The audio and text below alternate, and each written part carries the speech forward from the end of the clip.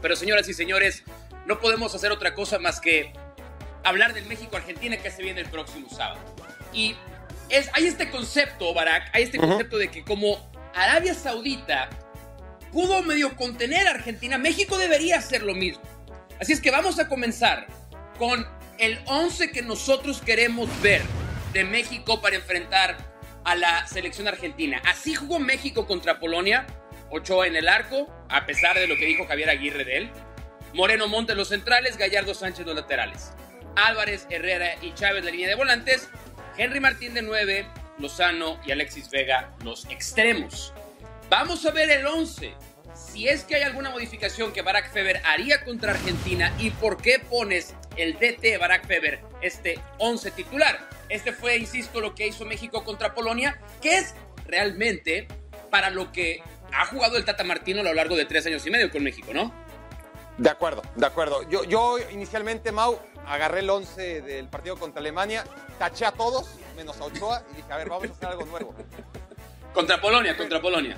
¿Contra por qué dije, perdón? Alemania, ya estás Ah, pensando bueno. en el siguiente segmento. Bien, el- el 11 y después de tachar todos, ¿no?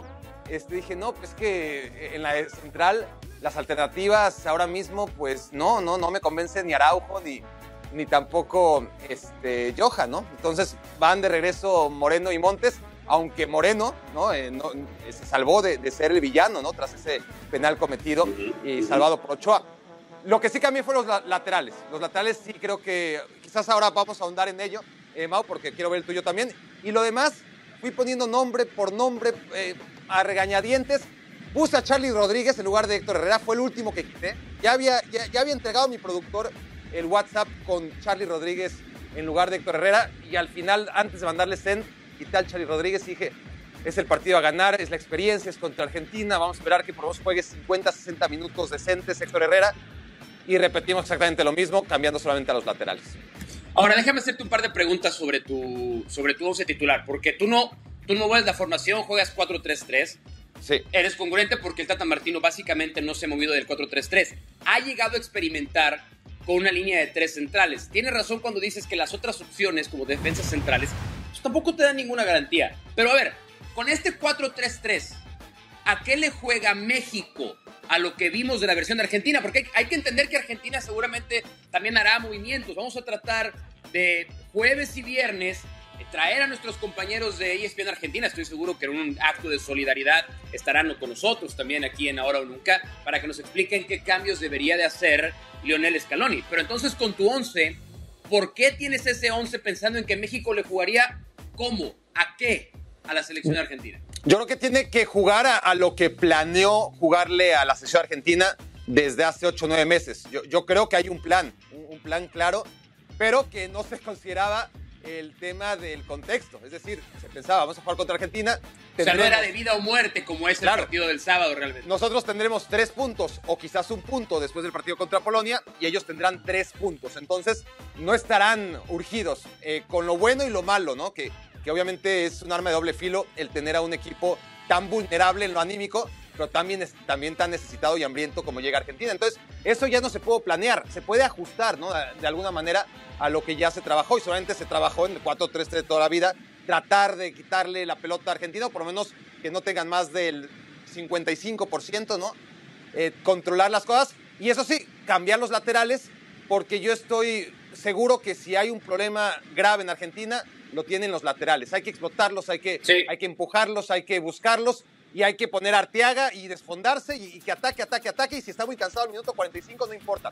Que entre Gallardo fresco y ataque, ataque, ataque, ataque, ataque. Y que no dejen de atacar por izquierda a una a todas las dudas que pueda tener Tagliafico o Acuña y del otro lado igual, porque tampoco Molina se puede salvar, ¿no? Entonces, eh, me parece a mí que por, por la banda derecha con O sea- Jorge Sánchez, sí que ese sería mi primer cambio, hon- honestamente, ¿no? Sacaría a Probablemente. Jorge Sánchez y pensaría inmediatamente en darle la oportunidad a Kevin Arteaga.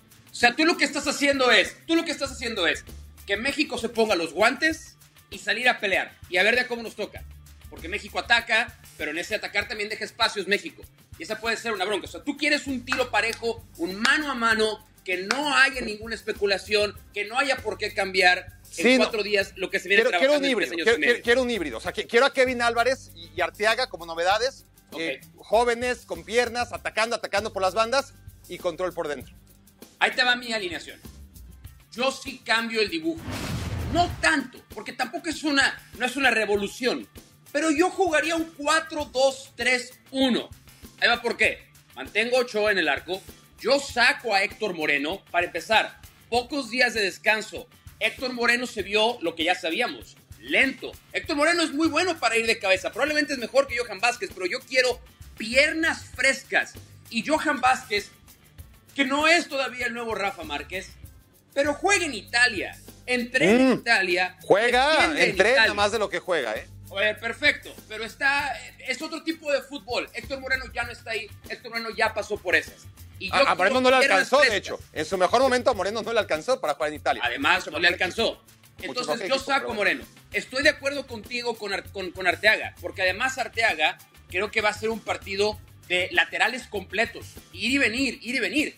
Ir probablemente va igual que Jesús Gallardo, pero venir defiende mucho mejor que Jesús Gallardo. Yo mantengo a Jorge Sánchez simplemente por una razón. Porque si se va a ir mucho Arteaga, al final del día Jorge Sánchez eso lo mejor evita que se vuelva loco y se empiece a ir a lo loco como suele hacerlo. Después, yo cambio a la línea de dos contenciones. Yo pongo a Edson Álvarez y a Eric Gutiérrez. ¿Por qué? Porque para como juega Argentina, votando a Messi fuera de la zona de los centrales, por lo general obliga a salir a uno de los centrales. Si tú tienes dos contenciones, uno de ellos puede marcar a Messi y el otro pelea con quien te llegue, Rodrigo de Paul, eh, no creo que juegue otra vez el Papu Gómez, pero quien, quien sea el otro volante, creo que ahí puedes generar superioridad numérica con dos contenciones. Alexis Vega lo saco de la banda, lo meto a jugar atrás del centro delantero, para que con, poniéndolo atrás del contención de Argentina, sea Paredes, sea Guido Rodríguez, o sea el propio Rodrigo de Paul, permita al centro delantero no tener que venir tan atrás, que fueron los problemas de Henry Martín. Y por fuera del Chucky Lozano no hay que explicarlo. Y el otro era o Antuna, o el Piojo Alvarado, Orbelín Pineda. Y dije, de esos tres, el que me parece que puede dar un mejor partido es Orbelín Pineda. Quiero que también México sea agresivo, pero protegerlo con esos dos contenciones. ¿Cómo lo ves? Me gusta, pero ese tema que tú ya reconociste desde el inicio, ¿no? Eh, pensar que el Tata Martino va a cambiar su formación el día más importante, eh, además de, ser iluso, eh, es arriesgado, ¿no? Es arriesgado para un equipo que, que no ha jugado prácticamente. Estamos hablando de jugadores profesionales, ¿eh?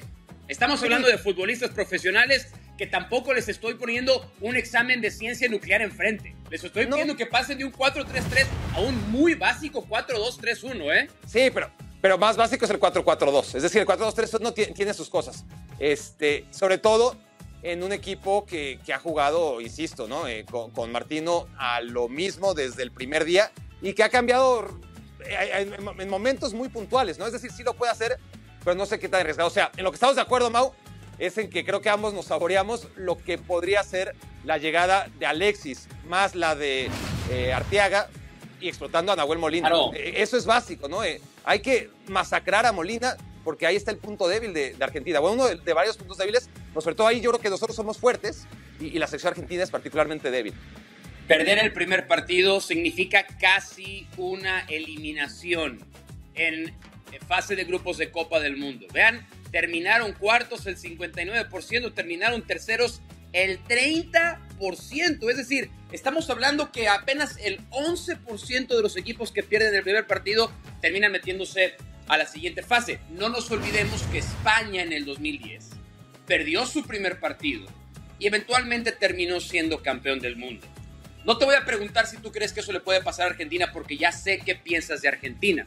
Pero lo que sí te voy a preguntar es si crees que Argentina va a acabar entonces como el otro eh, ochenta y tantos por ciento de, o 79 por ciento del que hablábamos, que ni siquiera pase de la fase de grupos. Eh, eh, el, tema de Argentina es que está más que contra las cuerdas, ¿no? que, un empate contra México virtualmente la deja eliminada y que es muy probable que, empate contra México. Yo honestamente, como veo las cosas, pienso que Argentina va a ganar el partido. Hoy apostaría por Argentina a pesar de todo. Y después ya en el último partido, por supuesto, pienso que Argentina le ganaría a Polonia. Pero no te entiendo, no te entiendo, no te entiendo, no te entiendo. No, creo que Argentina le ganaría a México, honestamente. Has correctamente enarbolado la bandera de Argentina pesta en este mundial. ¿no? Sí, Argentina, todos ustedes, incluido tú, Mauricio Pedrosa, que dice que Argentina está para campeón, están locos, porque Argentina apesta. Eso es- esa es tu bandera de esta Copa del y, y vas muy bien. Vas muy bien, ya perdieron con Arabia Saudita. No me digas, hay un tema, porque todo el mundo, el hambre de Argentina, se van a comer a México, van a salir con un montón de hambre. Piensen ustedes cómo son cuando están, se están muriendo de hambre y les, les urge comer. ¿Comen bien? Te pones de No, mal humor a la primera. Por lo general, se atragantan y les cae pesado. No, y, Piensan que con toda esa hambre van a darse un festín y ahí están después en el baño sufriendo. no, y, No, a la primera, lado, ¿eh? a la, a la pri- a- Ahora a a la primera, lado. a la primera que te hacen enojar, este, es más, ni siquiera te tienes que enojar, cualquier cosa eres hipersensible y cualquier cosa te hace mucho daño cuando estás hambriento, ¿no? Eh, eso también pasa. Pero México, México es un equipo que está peor que Argentina en términos generales, que, que tiene menos calidad y que sí. a pesar que Argentina para mí es un equipo súper sobrevalorado, yo creo Sí. que yo ya cumplí, Y- o sea, yo ya advertí que, que Argentina no está para ganar la Copa del Mundo. Ahora, para avanzar a octavos de final, sigue estando. Para avanzar a cuartos de final, sigue estando. Pero bueno, para eso le tiene que ganar a México, porque si No empata, caigan adiós. No caigan en el engaño. Hay, hay un engaño muy fácil en el que muchos analistas los está haciendo caer a ustedes.